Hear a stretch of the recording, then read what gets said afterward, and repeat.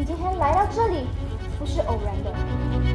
上帝看重的是我们要有一颗顺服及委身的心，你们愿意吗？愿意。记得说阿门。阿门。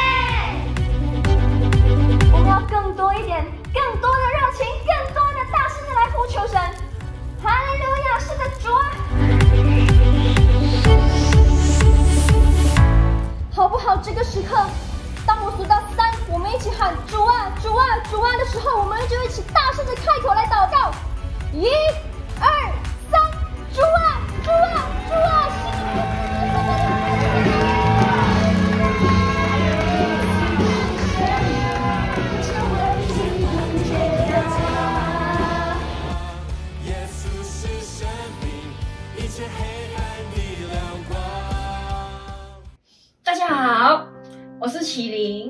我想要感谢 Mabel，所以我紧紧的抓住这一次的机会来表达我对她的感谢。我一直都想要成为一位很有责任感、有担当、颜值和智慧并存的领袖，但是从 Pastor Mabel 的身上，我发现这些事都是不足够的。他深深吸引我的特质是他那颗愿意呃委身，还有顺服神，而且并且把神永远摆在第一位的心。他可以有很多的娱乐 enjoy 的时间，可以每天睡到自然醒，但是他没有选择这么做，他选择把时间放在扩展神的国度。其实这些对我来讲是一个非常使命感的事情，它让我很佩服，很感动，也很震撼，深深撼动了我的心，让我觉得是那么的遥不可及，呃，也让我深深的觉得有一点自愧不如，也深深吸引了我，想要像他有那一种的魄力。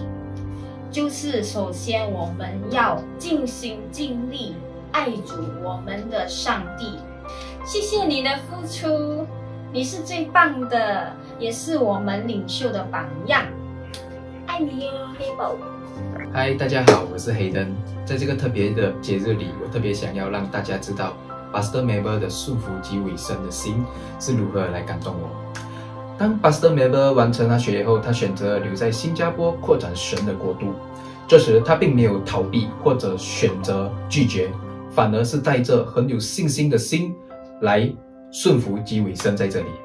我不知道我有没有那么大的勇气来回应神的呼召。就因为这样，Pastor Maber 要带着依依不舍的心情来暂时的离开他的家人和爱人，并且带着顺服及委身的心继续留在新加坡服侍。Pastor Maber 的顺服及委身的心是我们每个基督徒都必须学习的。看到 Pastor Maber 的生命见证，非常的激励我。也因为这样，我决定每个礼拜多花一点时间来亲近神，比如说祷告和灵修。在灵修时，我时不时会想起 Pastor Mabel 在更新课程中所教我们的东西，比如说如何的来用方言祷告。这些方法能够让我更容易的来亲近上帝。也很感谢 Pastor Maber 每个礼拜的敬拜赞美和讲义，让我们每个在新加坡学习和工作的弟兄姐妹都能够听到神的话语。最后，我想代表每个新加坡的弟兄姐妹向 Maber 传道，说声谢谢。Hello，大家好，我是 Jean。自从呢我认识 Mabel，我一直觉得她是一个很负责任，也很愿意委身在教会的一位领袖。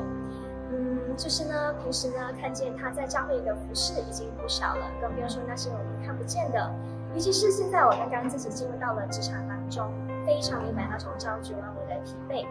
我知道现在 Mabel 呢又要负责自己的职场，然后也要负责教会里的很多服饰，真的很不简单。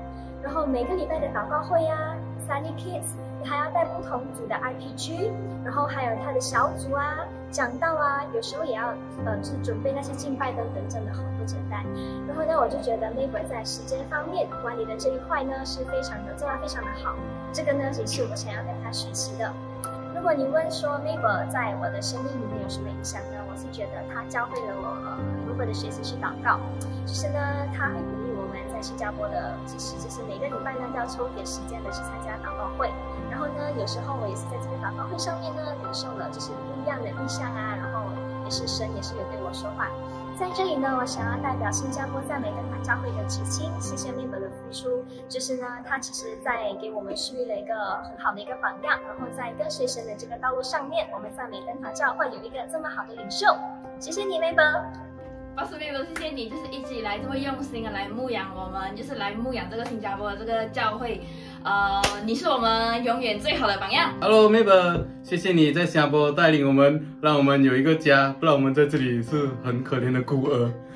我们知道在新加坡你一个人带领不容易，可是我们会在后面支持你，加油，拜拜。Hello 们的关心，还有对教会的付出。呃，知道你在新加坡，呃，就是带领我们不容易，但是我们会在后面支持你，加油！谢谢 Mabel，谢谢你一直以来啊、呃、这么用心的牧养我们每一个人，谢谢你。Mabel，谢谢你这么多年在教会里面的服侍，我们都很感恩有你这么好的一位同工。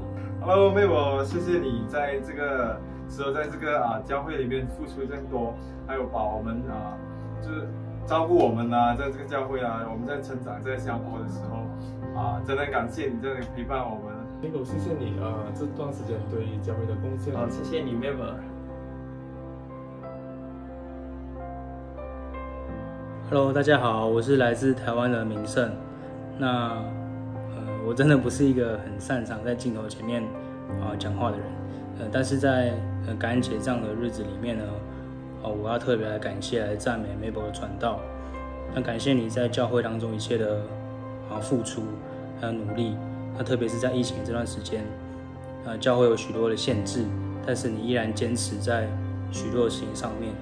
啊，例如说，啊，你坚持在每天的晨祷，然后也花时间预备晨祷的分享。那还有，呃，像是你每周的啊线上的儿童主日学，你也坚持让自己来做设计，然后跟那些的童工来核对那些的故事啊、影片啊，那真的感觉到你对这些的事情非常用心，然后你也很努力的在预备讲道里面。那，常常都看你做这些事情，熬夜到很晚，然后。也花时间跟这些童工，啊来沟通，然后训练他们，这样赞美你对神家中的事情非常的细心。